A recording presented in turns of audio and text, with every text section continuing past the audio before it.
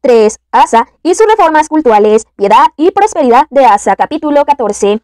Asa hizo lo que era bueno y recto a los ojos de Yahvé su Dios, suprimió los altares del culto extranjero y los altos, rompió las estelas, abatió los troncos sagrados y mandó a Judá que buscara a Yahvé, el Dios de sus padres, y cumpliera la ley y los mandamientos. Hizo desaparecer de todas las ciudades de Judá los altos y los altares de incienso. Y el reino estuvo en paz. Bajo su reinado edificó ciudades fuertes en Judá, porque el país estaba en paz y no hubo guerra contra él por aquellos años, pues Yahvé le había dado tranquilidad, dijo a Judá, edifiquemos estas ciudades y cerquémoslas de murallas, torres, puertas y barras, mientras el país esté a nuestra disposición, pues hemos buscado a Yahvé nuestro Dios, y por haberlo buscado, Él nos ha dado paz por todas partes. Edificaron pues y prosperaron. Asa tenía un ejército de trescientos mil hombres de Judá, que llevaban escudo y lanza, y doscientos ochenta mil de Benjamín, que llevaban escudo y eran arqueros, todos ellos esforzados guerreros.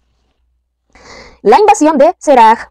Salió contra ellos Serac, el etíope, con un ejército de un millón de hombres y trescientos carros, y llegó hasta Maresa. Salió Asa contra él y se pusieron en orden de batalla en el valle de Cefata, junto a Maresa. Asa invocó a Yahvé, su Dios, y dijo, Oh Yahvé, solo tú puedes ayudar entre el poderoso y el desválido. Ayúdanos pues, Yahvé, Dios nuestro, porque en ti nos apoyamos y en tu nombre marchamos contra esta inmensa muchedumbre. Yahvé, tú eres nuestro Dios, no prevalezca contra ti hombre alguno. Yahvé derrotó a los etíopes ante Asa y Judá, y los etíopes se pusieron en fuga. Asa y la gente que con él estaba, los persiguieron hasta Gerar, y cayeron de los etíopes hasta no quedar uno vivo, pues fueron destrozados delante de Yahvé y su campamento, y se recogió un botín inmenso. Batieron todas las ciudades de los alrededores de Gerar, porque el terror de Yahvé cayó sobre ellas, y saquearon todas las ciudades, pues había en ellas gran botín. Asimismo atacaron las majadas y capturaron gran cantidad de ovejas y camellos. Después se volvieron a Jerusalén.